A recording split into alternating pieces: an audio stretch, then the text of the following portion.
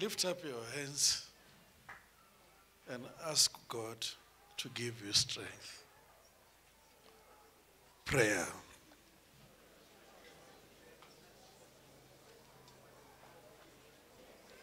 Ask God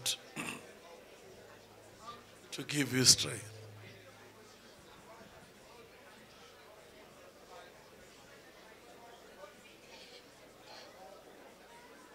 In Jesus' mighty name, amen. Today we hear that your endurance determined what you will take in the future. Because you cannot just run. When Mama was preaching here, I was beginning to see that many of us were giving up when we are close to our destinies. Whatever you are facing is telling you that you are closer to where God is taking you.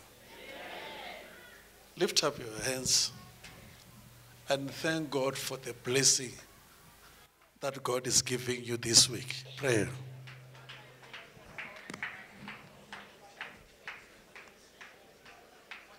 Thank you for the blessing this week.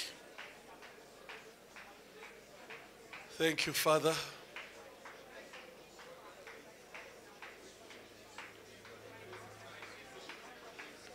Thank you, Jesus, for the blessing. In Jesus' mighty name. Look here. Mama was talking many things here. Just come here. Let me show you by this man. Come. Don't worry. Can you see this man face there? Can you face there? Can you just come, you two people here? Stand in front of him. In front is here, Mama. Let's leave Mama. Okay, Mama. Let's leave. Come, brother. Let's stand here in front of him. Come and stand here. Yes. Can you see? Mama was preaching this that if this man, give me the Bible, is holding this, because it is the word of God that attracts the opposition which hinder you to your destiny. That's what Mama was preaching. That you, God want to take you there, but Satan won't leave you.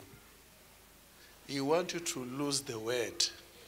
He wants you to throw it down Yeah. So now put the word behind you with two hands, bend like this. Do like this. Yes, like that.